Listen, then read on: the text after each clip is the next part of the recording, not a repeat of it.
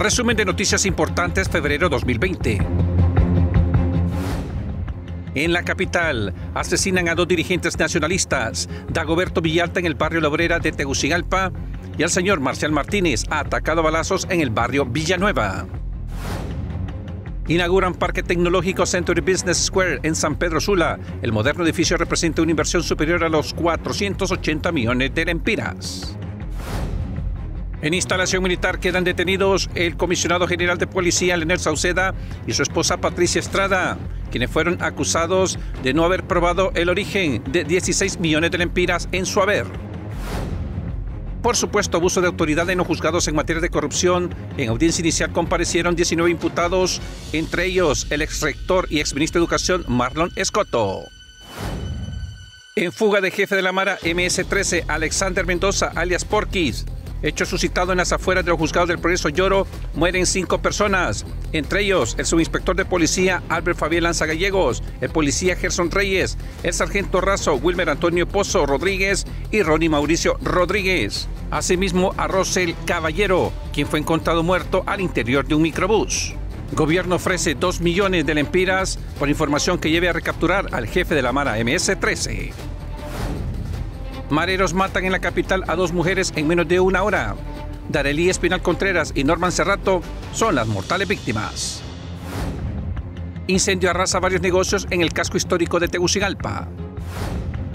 Trasciende que 20 millones de lempiras pagó el Porquis por su fuga. Aprueban en primera instancia 110 millones de lempiras para combatir dengue y prevenir coronavirus. Juez dicta libertad condicional a dos ex socios de los Valle Valle. Se trata de Aristides Díaz y Osman Adonai Martínez, sentenciados por narcotráfico. La famosa marca de tenis deportivo Nike tendrá fábrica en San Pedro Sula. Detienen a cinco personas en Tegucigalpa por fuga de jefe MS-13 Alexander Mendoza, alias Porky, en un operativo en la colonia Miramontes de la capital. Se trata de Carlos Roberto García Torres, Carla Patricia Paz Figueroa, Fernanda Lisbeth Zelaya Paz, Iris Araí Sierra Núñez y Mirna Janet Paz. En el limbo concesión de aeropuertos, siete meses después de concluir la concesión actual a la Subintendencia de Alianza Pública Privada y la Secretaría de Infraestructura y Servicios Públicos.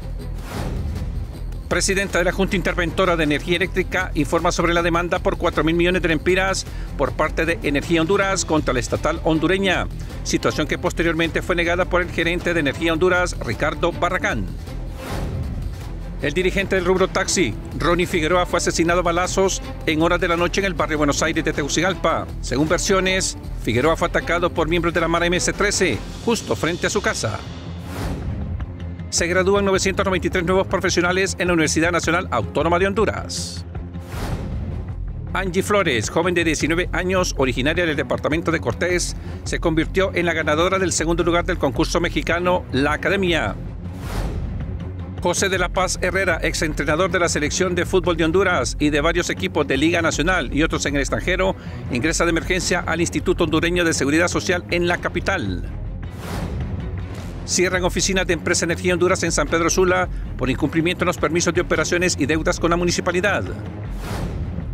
Autoridades de salud afirman que en cuestión de días podría llegar coronavirus a Honduras tras confirmarse los casos en México, sospechosos en El Salvador y Guatemala.